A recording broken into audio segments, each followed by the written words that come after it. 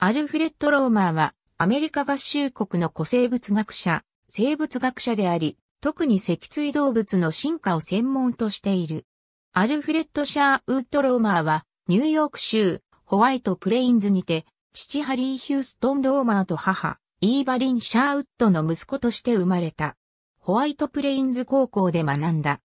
アマースト大学に進み生物学の学士号を取った後、コロンビア大学で生物学の修士号を取得し、1921年には動物学で博士号を取った。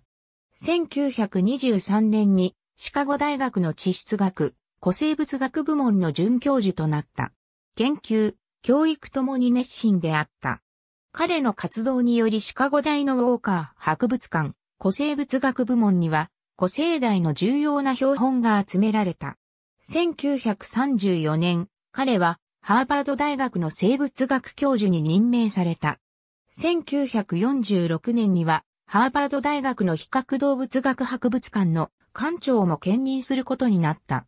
1954年に米国科学アカデミーからメアリー・クラーク・トンプソンメダルを授与された。1956年には同じくアカデミーからダニエル・ジロー・エリオットメダルを受けた。ローマーは脊椎動物の進化研究において卓越した能力を示した。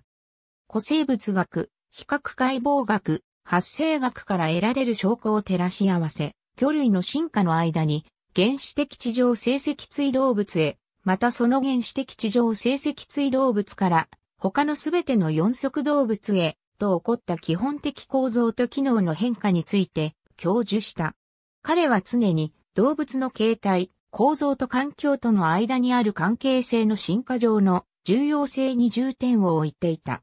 彼の書籍である Vertebrate Paleontology において、ローマーは脊椎動物の伝統的分類の基礎を作り上げた。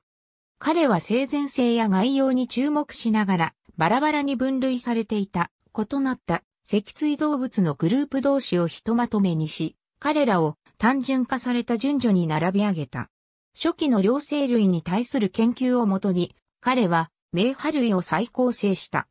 ローマーの分類は、ロバート・エル・キャロルをはじめとした多くの研究者に受け継がれ、現在でも使われている。ハーバード大のケークインスリンデカス。脊椎の数が本来よりも多く復元されている可能性がある。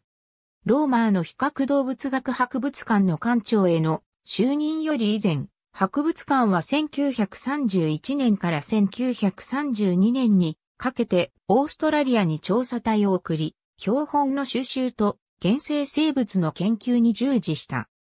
しかしその時大学院生で調査隊の熱心な化石採集家であったウィリアム・イー・シャビルは調査終了後もオーストラリアに残り、1932年の冬に農場主の RWH トーマスからヒューエンデン近くにある自分の土地で何か奇妙なものが飛び出している岩があるという話を聞いた。その岩は石灰岩のジュールであり、今まで発見された中で最も完全なクロノサウルシタの骨格を含んでいた。ダイナマイトによる爆破でノジュールを地盤から分離した後、その化石を調査と処理のために、ハーバード大へ送り出した。頭骨はすぐさま掘り出されて処理されたが、時間と予算の制約により、全身骨格の復元は先延ばしされ、骨格のほとんどの骨は20年もの間石灰岩ブロックの中に埋まったままだった。この暫定処置は、この化石がボストンの実業家、事前家であり、キャボットコーポレーションの創設者でもある、ゴドフリー・ローエル・キャボットの注意を引くまで続いた。彼は当時90代であったが、子供の頃から大海蛇に興味を持っていたのだ。ケークインスリンデカスの大きさ比較。ハーバード復元とより正確な推定値を並べている。かねて大海蛇の実在や報告に関する質問を受けていたローマーはキャボットに博物館の収蔵棚にしまわれたままの骨格につて言及してみようと思い立った。キャボットは復元にかかる費用はどれくらいか尋ね、ローマーはカビ臭い空気から体を引き戻しながら、ええ、1万ドルというところでしょうかと答えた。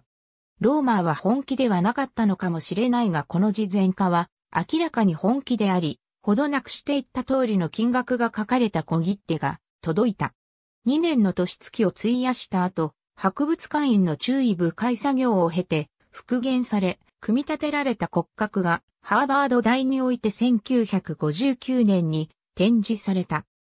しかしながら、同年、ローマーと比較動物学博物館プレパレーターのアーノルド・ルイスは、館の観光地であるブリベユアにおいて、かつて完全で繋がっていた骨格のかなりの部分が侵食により破壊され、そのため展示している標本のおよそ1、3が石膏による復元であることを明確にした。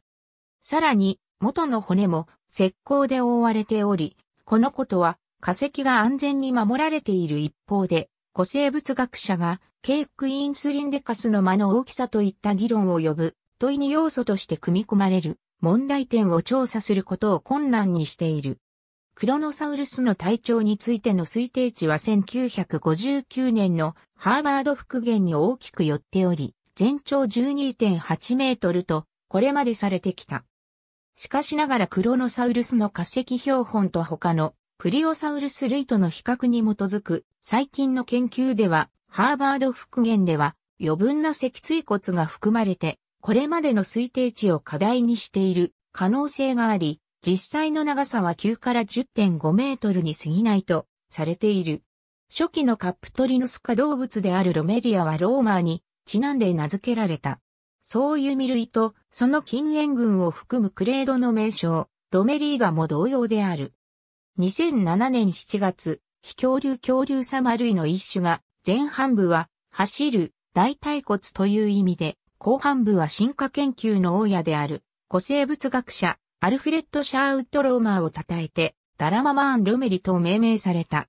これらの化石の発見は、恐竜類と他の恐竜サマ類が1500万年から2000万年もの長い間共存していたことを示す突破口となるものとして歓迎された。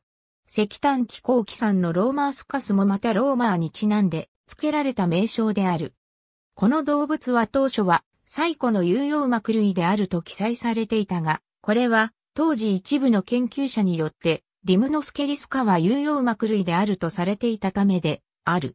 その後の研究によってこのグループは特徴的な形質が欠けているので四足動物とまでしか分類できないとされている。ローマーはデボン期の四足動物化石と後期石炭期の四足動物化石の記録の間に空白があることに最初に気がついた研究者でもあり、この空白期間は1995年以降、ローマーの空白という名を冠している。ありがとうございます。